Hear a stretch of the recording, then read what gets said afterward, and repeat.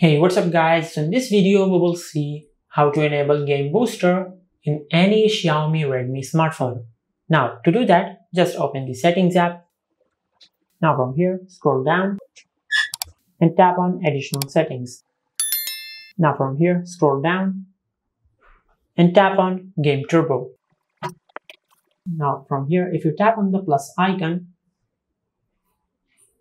you can add games to your Game Turbo. Just like that.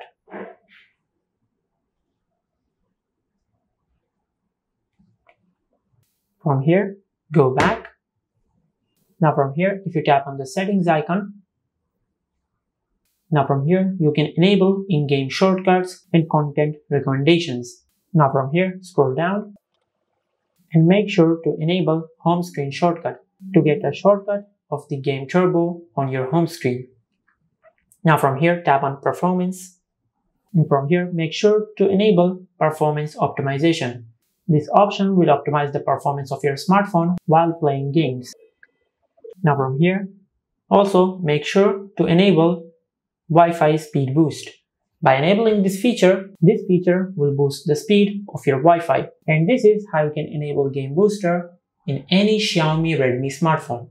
If you found this video helpful, Please like the video and subscribe to the channel and hit the bell icon to get notified when we upload a new video.